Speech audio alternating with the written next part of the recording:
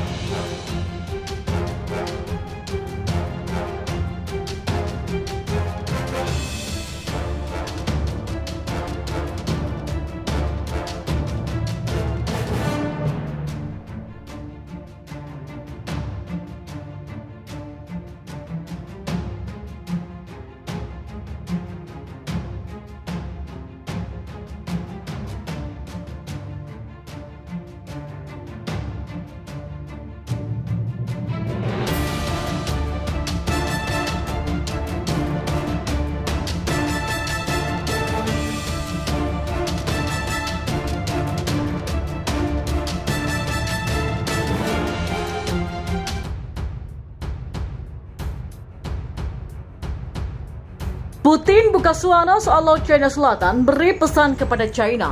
Presiden Rusia Vladimir Putin memberikan pesan khusus kepada Presiden China Xi Jinping mengenai Laut China Selatan atau LCS. Putin menekankan agar masalah sengketa di perairan itu tidak melibatkan banyak negara.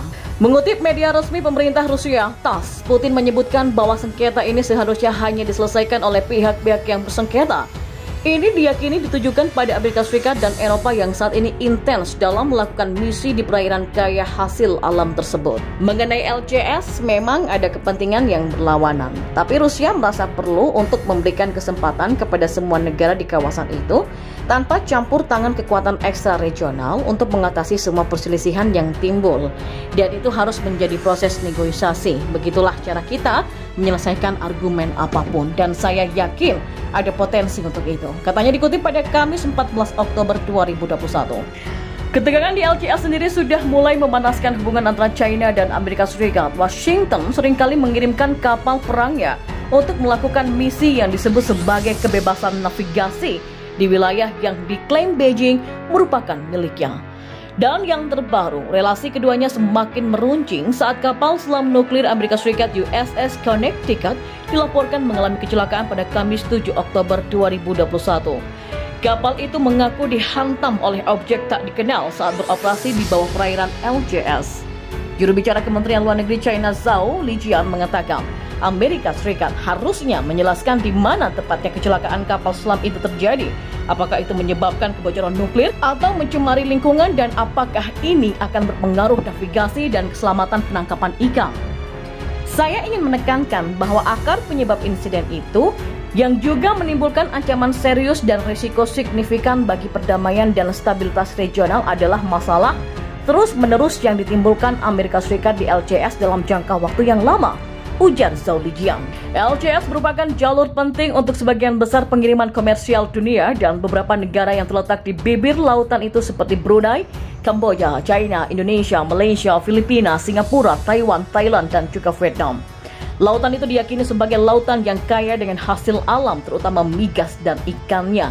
China pun bersikukuh mengklaim sekitar 90% dari lautan itu dalam apa yang disebut dengan sembilan garis putus-putus, di mana mencakup area seluas sekitar 3,5 juta kilometer persegi atau 1,4 juta mil persegi. Klaim tersebut telah menimbulkan ketegangan politik dunia akan perang terbuka yang mungkin saja terjadi karena konflik teritorial ini. Putin buka suara soal Laut China Selatan beri pesan kepada China. Presiden Rusia Vladimir Putin memberikan pesan khusus kepada Presiden China Xi Jinping mengenai Laut China Selatan atau LCS. Putin menekankan agar masalah sengketa di perairan itu tidak melibatkan banyak negara. Mengutip media resmi pemerintah Rusia, TASS, Putin menyebutkan bahwa sengketa ini seharusnya hanya diselesaikan oleh pihak-pihak yang bersengketa ini diyakini ditujukan pada Amerika Serikat dan Eropa yang saat ini intens dalam melakukan misi di perairan kaya hasil alam tersebut. Mengenai LCS, memang ada kepentingan yang berlawanan, tapi Rusia merasa perlu untuk memberikan kesempatan kepada semua negara di kawasan itu tanpa campur tangan kekuatan ekstra regional untuk mengatasi semua perselisihan yang timbul. Dan itu harus menjadi proses negosiasi. Begitulah cara kita menyelesaikan argumen apa pun. Dan saya yakin ada potensi untuk itu. Katanya dikutip pada Kamis 14 Oktober 2021. Ketegangan di LCA sendiri sudah mulai memanaskan hubungan antara China dan Amerika Serikat. Washington sering kali mengirimkan kapal perangnya untuk melakukan misi yang disebut sebagai kebebasan navigasi di wilayah yang diklaim Beijing merupakan miliknya. Dan yang terbaru, relasi keduanya semakin meruncing saat kapal selam nuklir Amerika Serikat USS Connecticut dilaporkan mengalami kecelakaan pada Kamis 7 Oktober 2021. Kapal itu mengaku dihantam oleh objek tak dikenal saat beroperasi di bawah perairan LCS. Juru bicara Kementerian Luar Negeri China Zhao Lijian mengatakan, Amerika Serikat harusnya menjelaskan di mana tepatnya kecelakaan kapal selam itu terjadi.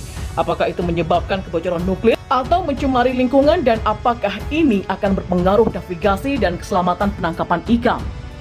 Saya ingin menekankan bahwa akar penyebab insiden itu yang juga menimbulkan ancaman serius dan risiko signifikan bagi perdamaian dan stabilitas regional adalah masalah terus-menerus yang ditimbulkan Amerika Serikat di LCS dalam jangka waktu yang lama ujar Zhou Lijiang. LCS merupakan jalur penting untuk sebagian besar pengiriman komersial dunia dan beberapa negara yang terletak di bibir lautan itu seperti Brunei, Kamboja, China, Indonesia, Malaysia, Filipina, Singapura, Taiwan, Thailand, dan juga Vietnam. Lautan itu diyakini sebagai lautan yang kaya dengan hasil alam terutama migas dan ikannya. China pun bersikukuh mengklaim sekitar 90% dari lautan itu dalam apa yang disebut dengan sembilan garis putus-putus, di mana mencakup area seluas sekitar 3,5 juta kilometer persegi atau 1,4 juta mil persegi. Klaim tersebut telah menimbulkan ketegangan politik dunia akan perang terbuka yang mungkin saja terjadi karena konflik teritorial ini.